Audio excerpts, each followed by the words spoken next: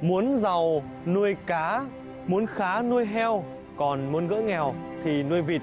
Đó là câu thơ mà tôi đã nghe được khi đặt chân đến huyện Tam Nông, tỉnh Đồng Tháp mà ở đây họ còn sản xuất cả sản phẩm cá khô nữa. Vì vậy ngày hôm nay chuyến xe nông nghiệp sạch sẽ mời quý vị chúng ta sẽ cùng đến huyện Tam Nông, tỉnh Đồng Tháp để tìm hiểu về sản phẩm cá khô.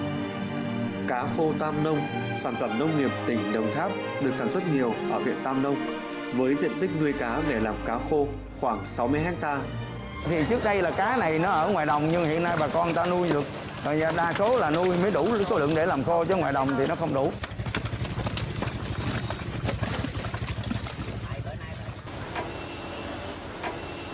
Đây là khu vực sản xuất nước.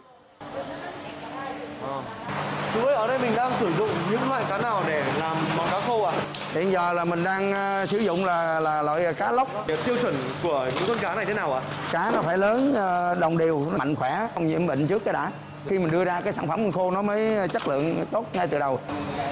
Đây là những con cá này của chúng ta rất là khỏe to, chúng mới được bắt lên.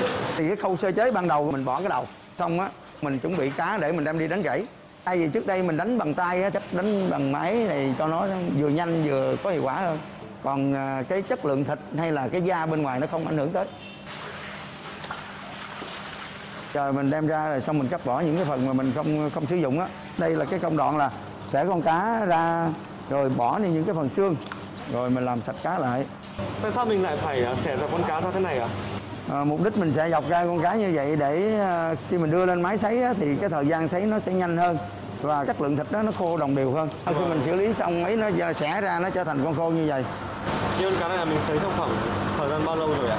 Như à, cá lóc thì à, từ 20 đến 24 còn cá sặc có thể khi lên tới 28 tiếng. Đây là cái nhà mình giống như là nhà sấy vậy.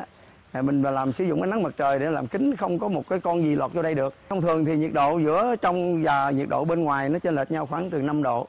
Làm sao để những con cá khô của chúng ta ra thị trường đảm bảo là cá với chất lượng ngon và an toàn ạ?